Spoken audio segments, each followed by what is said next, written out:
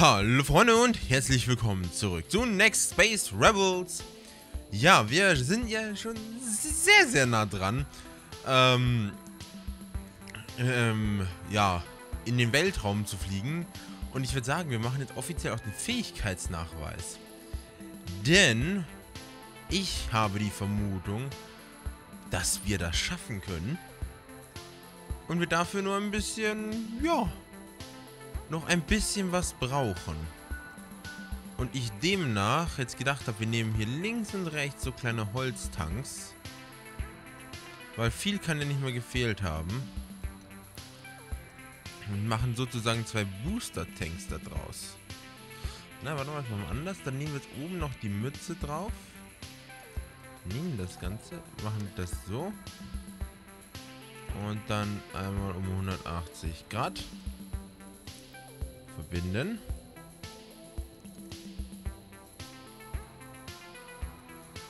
So, und jetzt müssen wir dann natürlich noch die Tanks zubauen.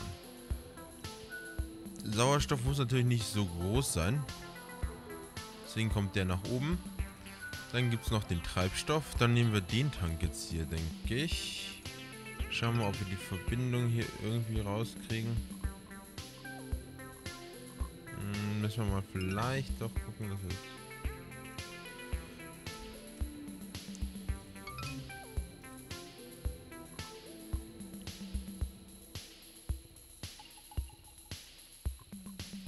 Ne, das, wird, das ist zu eng, okay. Da brauchen wir dann sozusagen so kleinere.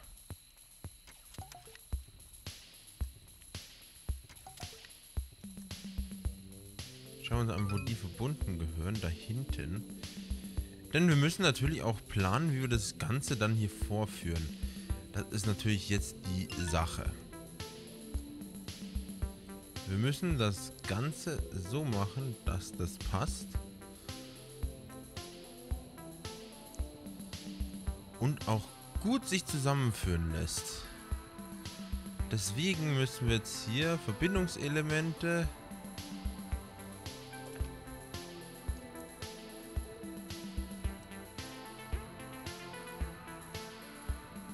Das ist echt problematisch, ich sag's euch.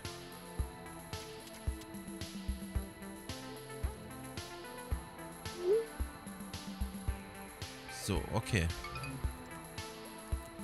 Dich kriege ich hier ran, okay. Jetzt muss ich nur noch das da angeschlossen bekommen. Dann brauche ich einen neuen, der sich da anschließen lässt. Und dann noch einen Sauerstoffinjektor. Kann ich den drehen?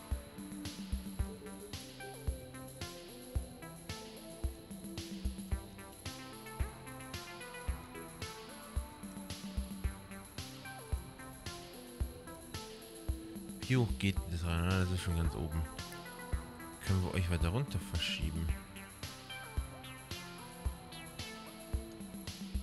Den hier irgendwie so einsetzen.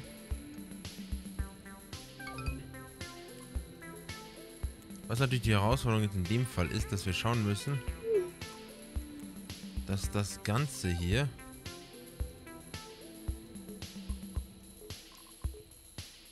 einwandfrei verbunden ist. So. Asche an. Jetzt haben wir schon ein Problem, dass wir sozusagen ja, das Ganze über sehr, sehr überfüllt haben. Okay, dann müssen wir halt anders vorgehen und wir müssen sozusagen die Stage lassen. Hier um, umbauen.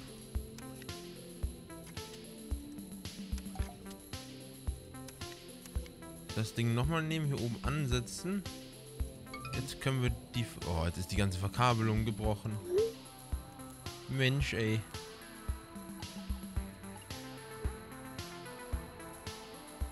Jetzt muss ich einmal raus und rum wieder verkabeln. Das gibt's doch gar nicht.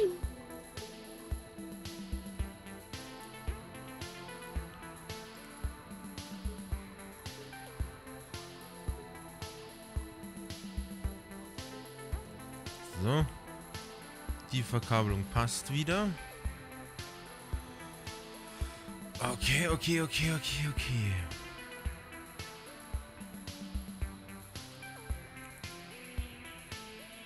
Jetzt rein theoretisch kann ich natürlich hier oben noch so einen etwas kleineren Tank jetzt reinsetzen. Hier zum Beispiel so. Eine Pumpe, äh, ein Verbindungselement.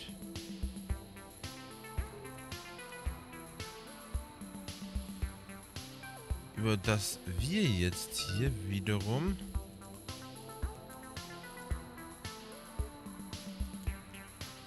frei verfügen können. Damit das Ganze dann am Ende sich schön zusammenfügt. So. Haben wir ein bisschen mehr Kraft drin. Dann brauchen wir von der Kinetik den Dockingport. Und dann geht es halt an die neuen Teile. Und ich habe hier überlegt, dass wir sozusagen eine... Wohl Holzrakete ist halt doch Schrott, ne? Wir haben die NSA-Teile rein theoretisch. Schauen wir uns mal an, was wir da haben. Wenn wir das Teil nehmen. Ich muss halt jetzt gucken, dass ich sozusagen das doch irgendwie so baue, dass es funktioniert. Oder wir nehmen die Kinetik. Ich tue hier nochmal eine Steuerung rein. Und mach dann hier oben. Ne, wo, wo ist der MSA nochmal? NSA. Hier oben noch so ein Teil drauf. Mit der Spitze. An.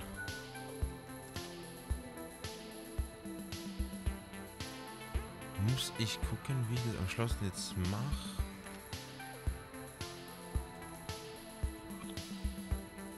Dadurch fließt auf jeden Fall nur das Zeug durch. Das ist vorteilhaft. Was ist der kleinste Sauerstofftank? Der zweite. Denn das Triebwerk wäre jetzt so ein, na, Closed Cycle hätte ich nicht, ich hätte gerne so Open Cycle. Dichter. Du gehst daran schon mal. Das ist schon mal eine klare Entscheidung. So. Jetzt brauchen wir natürlich noch den passenden Treibstofftank. Den ich mit Sauerstoff... Oh, jetzt ist natürlich das wieder zu... Oh, come on. Treibstoff, dann nehmen wir... Müssen wir ja dich nehmen. Und hoffentlich geht der billige Sauerstofftank noch. Ach, jetzt geht kein Verbindungselement mehr. Halleluja. Hm, nehmen wir ein kleineres, älteres Triebwerk. Ein bisschen billigeres, weil wir sind eben Weltall. Dich hier. Nun sollte ein Verbindungselement für die Sauerstoffinjektion ja noch reichen. So, wenn wir das anschauen, Klack. Zack.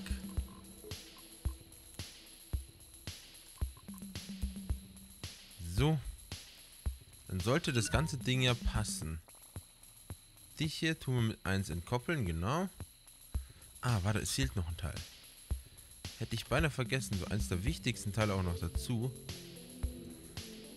Was natürlich mit der 1 dann mit entschieden werden muss. So.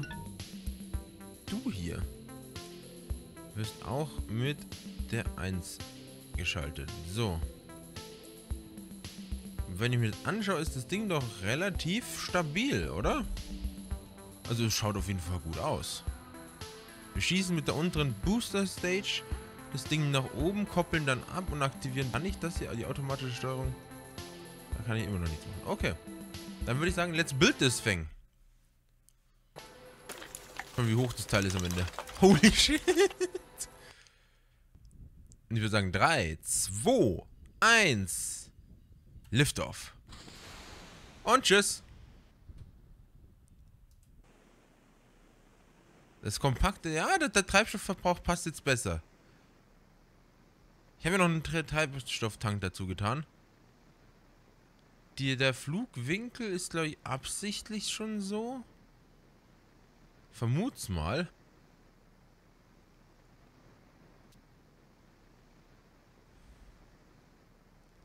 Immerhin kann ich es mir nicht anders vorstellen, sagen wir es so.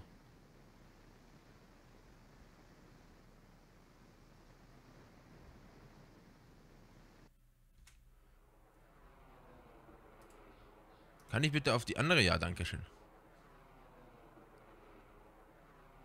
So, die gibt jetzt Vollboost. Ah, der Tank ist auch bald leer.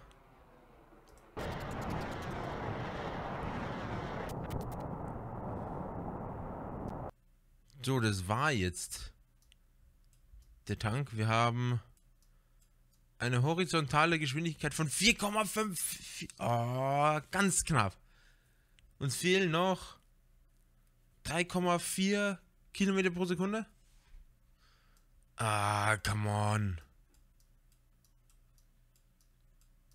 Als ob das jetzt nicht geklappt hat. Oh, das ist doch traurig. Passiert überhaupt was mit unserer Geschwindigkeit? Sinkt die überhaupt noch? Ich glaube nicht mehr. Obwohl ich vermute. Es ist schade, echt schade, dass es kein.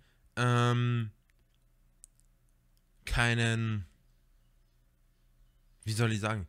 Keinen. Ähm, Vorspulbutton gibt. Ich würde so gern gucken, wie weit wir fliegen.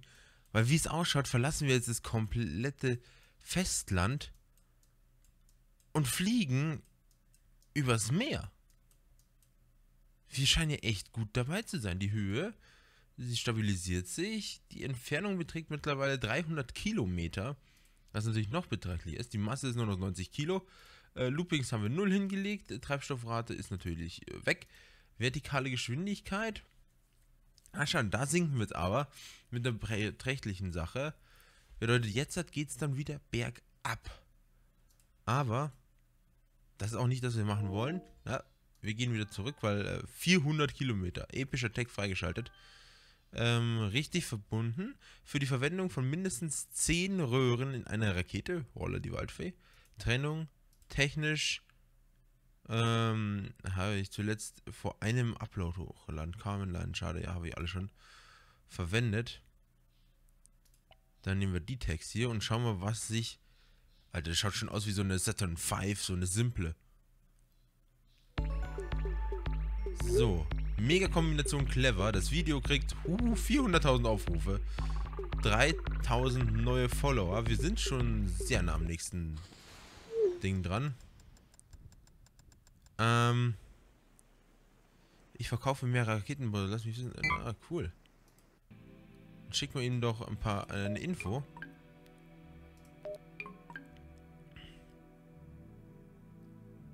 paar Dinge, die du brauchst. Äh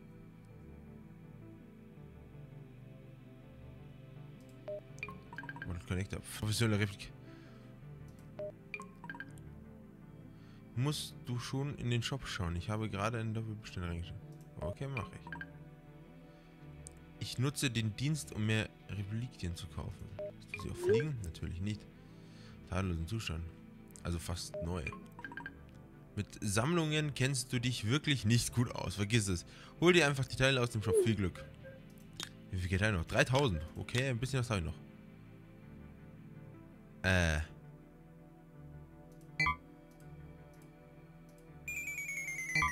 Okay, die holen wir uns mal. Aber wie viele kosten die? Pinke Flossen, blaue Flossen?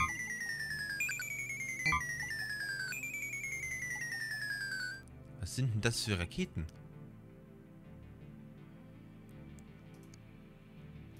Schwebendes Drehgelenk.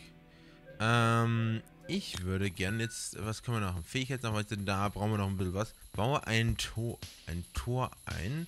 Schwebe 20 Sekunden lang zwischen 25 Metern und 50 Metern. Raketenstrip, dies erreiche. Okay, das war der. Ähm. Ja. Uff mit einer Gesamtmasse von 500 Kilo 10 Kilometer erreichen und dann weniger als 50 Kilo ähm, 50 Kilometer erreichen. Schau doch mal, was sind denn jetzt 500 Kilo? Wie viel wiegst du? Ja, das ist äh, 500 Kilo, mindestens. Du wiegst 17 Kilo. Was wiegt denn jetzt hier bitte schon so viel, dass ich das einbauen kann? 16 Kilo. 2 Kilo. Ähm, Gesamtmasse aber. Bedeutet, so ein Treibstofftank, wenn ich jetzt so einen großen hier nehme, sowas hier, ein Algenfass, das wiegt auch schon ordentlich. Bedeutet, wenn ich jetzt hier das nehme, außenrum unser Retro-Teil hier, sind wir schon bei 102 Kilo. Problem, ich krieg da kein nichts vorbei. Ich brauche größere Teile rein theoretisch. Das ist jetzt das Problem. Ich brauche fette Teile. Aber dann bauen wir doch... Ah nee, das ist ein kleines Teil, ne? Wir bauen dann die fetten Teile. Und kommen direkt die Dinger ran. Ähm, und natürlich Treibstoff ohne Ende.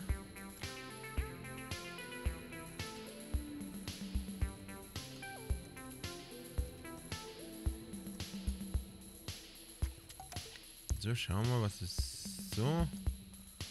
Was ist, wenn ich dich jetzt einmal drehe? Ich versuche jetzt mal ein bisschen ordentlicher zu bauen.